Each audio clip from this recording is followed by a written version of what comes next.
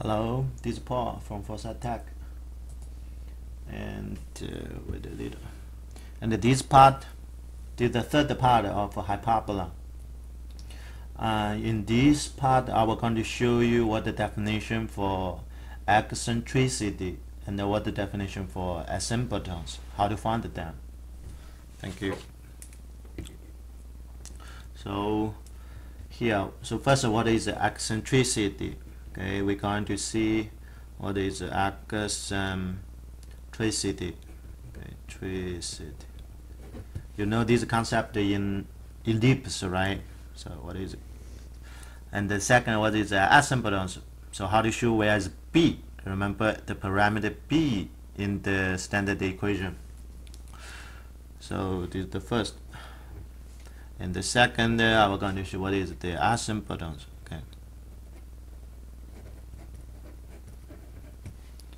Is the second. So first, look at the eccentricity. Okay, eccentricity, um, we use E to describe. So first uh, look at. This is easy. It's uh, defined by C over A. Okay, remember? Here's the same definition, is the exact the same at the definition for ellipse. Uh, we're going to, this one going to measure, okay? So we use this to measure uh, how wide or how narrow okay? The hyperbola opens the hyperbola okay some parabola open very wide some parabola open uh, very small so look at it so this is the definition um, so I give you two example, and the later we're going to see. So what it happens. The first I use uh, uh, this one, and the one is open very wild. So look at it. This is very wild. Okay, and the, another one. So look at this. So look at uh, a little bit uh, narrow, right? So this we can see is a little bit narrow. So we can usually say this is open wide. This we say is open open very wide. Okay so this is open a little bit narrow. So how about this parameter of e? So I was just going to show you this open wide the bigger okay this is the bigger okay the bigger uh, e in this case okay and this is the smaller the smaller e. Okay. If e is smaller, then the open very narrow. if e is much bigger, okay, the bigger the open big. Okay, if somebody say the bigger e open bigger, smaller e open small. Okay, just like this. Uh, so where is where is the focus? I want to look at uh, one more. And uh, if uh, big E means what? If A is fixed the same, big E means big C, right? So C is much bigger, means uh, means what? This means the focus is far away. So uh, the foci are far away. Uh, far away from what? From the center, of course, is far away from the center. In this case, okay, well, look at it. Um, so I get this. In this open very wide means what? Means the C is bigger right? E is bigger means the C is bigger so like C is equal to here. Okay so this is F everyone can you see this okay so probably F is at this open wide open wide so if this is F1 this is F2 this is much bigger okay so this is far away the distance so the second, if uh, E is smaller, means C is smaller. C is smaller means uh, the focus is closer to the center. Uh, if I say it's like this, okay, so this is F2, this is F1. F1, can you see? This distance is shorter, this distance is longer. Okay, open wide, far away from the center. Open, narrow, the focus is closer to the center. In this way, so we can find the foci, our two foci are close, uh, close to the center. In this way. Of course, it cannot go beyond the vertex, okay? All you can say is close to the vertex. So everyone, have you get this? Mm, this is the first part, the eccentricity. Um, do, do calculation is easy. All you need to do is find the C over A. Uh, one more I have to show you. Where's the range? Okay, so how about all the values for E? So can we look at this? Um, so we look at this, the definition. Okay. And the meaning you already find that the bigger, the wider, the smaller, the narrow. Okay, and uh, how wide it can go? It can go to infinity. Okay, can to infinity. I want to look at this uh, because you remember C square equals A square plus B square. So C always greater than A. Means what? In this case, so we go one by one. In this case, E always greater than 1. So this is the range. Okay this is the range so where is the value for E and uh, the bigger the E so you can say like this the bigger the E the wider the open uh, the open of the of the hyperbola the smaller the narrow. How small it can be? It can be the smaller is close to 1 okay? If you close to 1 then uh, the hyperbola will close to uh, the hyperbola were close to parabola. Okay, so this topic we do not cover in this book, but uh, I will going to show you a little bit. Okay, and I draw a small graph here so everyone so you can see. I put all the three uh, conics together. If you go Google, you definitely can find it. So if I draw like this, the, center, uh, this is a hyperbola okay I put it here if this is a hyperbola if this is a hyperbola okay so if we increase E and this will go to wider so the widest is goes to vertical line okay that means uh, when E reach to infinity and this goes to almost the, the vertical line okay almost the vertical line and that's the limit uh, if this gets smaller, it will go to what? It will go to like this. And the smallest is this. The small, this is a E greater than 1. Okay, E greater than 1, this is a hyperbola. So can you see? Okay, sorry, it's very small. Hyperbola. And uh, E goes down and go to this case E of course cannot be equals 1, cannot be equals 1 in our definition. Uh, however, if it close to 1 or equals to 1, this goes to what? In other textbook, they call it, this is a, uh, we know is a parabola. This is a parabola, okay? If E goes down again, goes to less than 1, this one you know, right? You know that is what? uh, extend a little bit it should be closer to like this do you remember what is ellipse okay in this case e is less we def definitely defined right we define e for ellipse this time is e ellipse okay other textbooks put these together okay uniform diamond we did not but you do know what is ellipse. Ellipse E less than 1. What is hyperbola? We define here. Hyperbola and the E is greater than 1. So what is equal to 1? We did not define. Okay, so if someone interested, go to Google. You, we can define the parabola. Or in the future, like you go to other class, and you will have access to these three. Okay. And do you have questions? Okay, so we move to this is the eccentricity. All you need is to find the parameter to calculation. Okay, don't forget the meaning. And one more is uh, asymptotes. So we're going to asymptote. Okay, the second part is asymptote.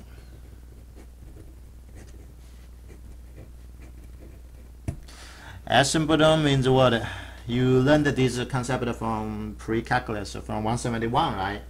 Okay, asymptote means the graph approach or gets closer, closer to that asymptote. Usually is the vertical line, uh, and not the vertical. Sometimes it's a horizontal line, sometimes it's a vertical line, sometimes it's a slant line. Okay, so have an angle. Okay, this is the asymptote. Let me draw a graph, and the asymptote will definitely tell you what is B. Okay, what B. Okay, do you remember? So we define B, right? We said this. Uh, we have A and we have C. So we have C square equals A square uh, plus B square. And in this way, we're going to define what is B. We know we define the A in the graph. We define the C in the graph. This is the distance uh, from the center to the vertex. So C is the distance from the center to the focus. What is B? okay what is this b we're going to answer these questions um, let me look at uh, one graph okay so look at uh, two okay so two the first is uh, horizontal okay so I'm going to draw horizontal uh, if this is the center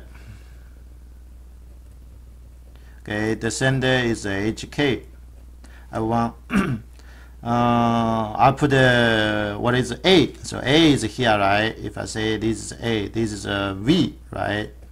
Okay and another is a C okay whatever. So I put a, if this is F I put the same. I put this is a V this is a F. So the left are called F1 and V1 so this is uh, v2 and F2 okay so where is A first we know A is the distance from, I draw like this, can you see? This is A, right? where is C, we also have the definition.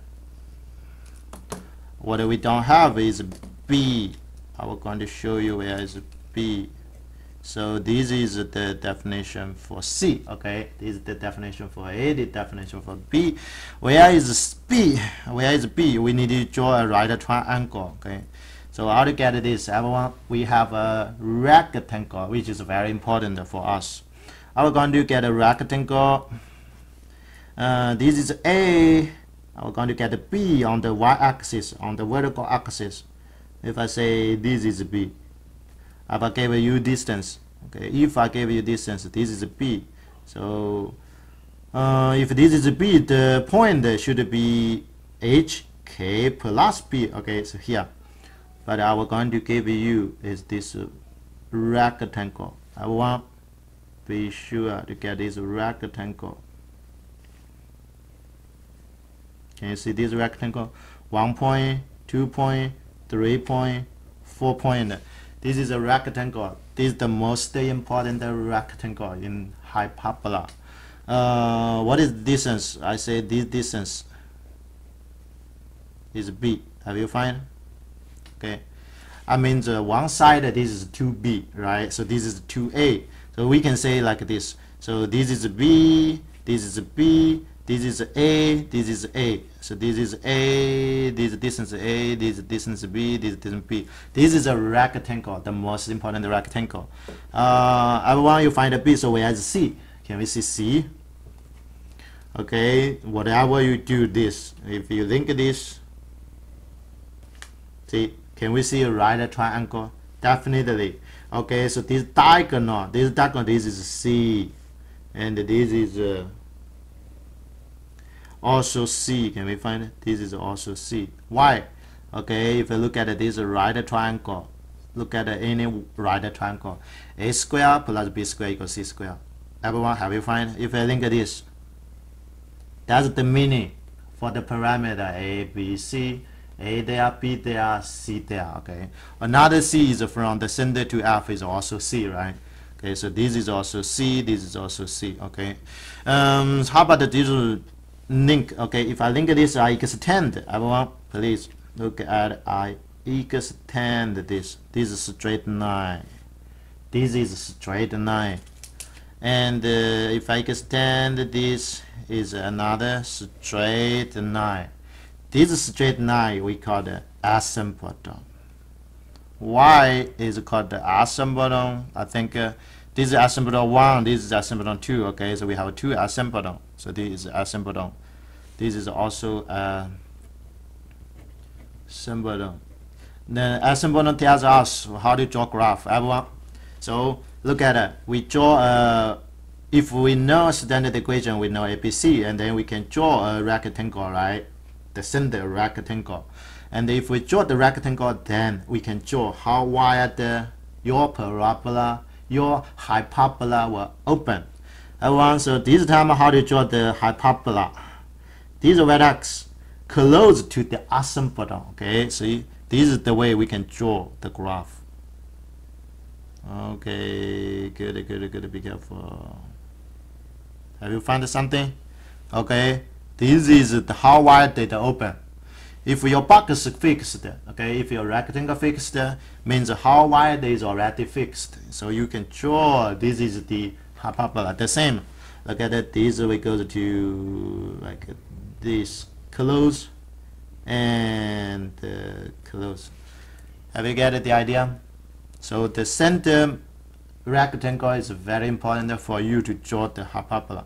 Of course, we don't need the exactly draw by your by your by yourself, okay? but you know the concept. Here tells you what is B. B is there, okay? A, B, C all put together. This is the rectangle, and the rectangle determine and the, how how it open wide, how wide it open depends on the rectangle. Have you get it? Now I get the equation. I get the equation for this asymptoton and this asymptoton. Okay, how to get the equation? Mm, this center we know, right? Means what? Means uh, this asymptoton go through the center HK. Okay, one point. What we need to know is know the slope. So how about the slope? I think everyone knows, right? The snowball is this right triangle tangent. Okay, or you can say is this. This is B. So let me going to see uh, which triangle I'll use this triangle all the same okay I use this right triangle so this is so this side is B right so this is A B over A is tangent if I say this is theta everyone from here what you can get see you can get the slope of this line the slope of uh, asymptoton if asymptoton 1 everyone if I give you asymptoton 1 this is asymptoton 2 so um, asymptoton 1 has m1 okay as the slope so m1 equals what? Everyone know this. M1 is tangent at this theta. Tangent theta among these right triangle is b over a. Good. B over a. Have you get it? M1 the slope is b over positive okay? And then in this case we will get this asymptoton 1 the first asymptoton uh, asymptoton is this. The first asymptoton which means asymptoton 1 okay? And you know a point right? So with the point we know the point uh, go through the straight line is the center hk everyone can we find the line equation asymptoton line equation is this. Okay I will use this color. I will use the point slope I will use the points slope form okay point slope form we find this. Uh, should be y minus k right equals m1 times uh, what times x minus h. This is the point slope. Uh, of course I will plus k to both sides um, so m1 we know right? I plug m1 first. I plug in m1 and then plus this k. I plus k to the left. A plus k to the right. And then plug m1 into here. What is the final? So we'll find out y if I draw this. Um, so at least the formula that I'll give you is this right? K plus. So k. So here should be plus. M1 is b over a and uh, guess minus h. I want have you find it. This is the asymptoton 1 okay. This is the asymptoton for this. Okay. the same. I think uh, everyone you easy to find it. What is the equation for asymptoton 2 I'm going to find another asymptoton 2 here. Uh, all we need to do is symmetric okay? Symmetric means that the slope goes to negative And for this one, first we're going to get it. For this asymptoton, okay, for this asymptoton, we say this is M2. M2 equals negative M1 because of symmetry. And therefore is negative B over A. Have you find it? Negative B over A. And in this way, and then we find the equation. Okay, the nine equation is this. I simplify a little bit. The equation is only change the slope and the point we did not change, which means y equals k minus b over a, I guess minus h. This is the asymptoton 2. This is asymptoton. So I will find if we put them together in the book, uh, in the review, I should use asymptoton. Okay, for this horizontal type. This is a horizontal type, right? A horizontal type. Okay, and the horizontal type, the final one is y equals k. If we put this and this together, is plus or minus b over a, x minus h. And this is put together, right? So we put together. We just put two together. I mean, uh, when you write it, if you write this, everyone knows. So this means two asymptoton. One asymptoton is positive slope, another asymptoton is negative slope. The slope determined by b over a. and uh, the second, so I will going to show you only the results. Okay, I will not going to uh, to draw everything here. So the second type is uh, vertical. So vertical type.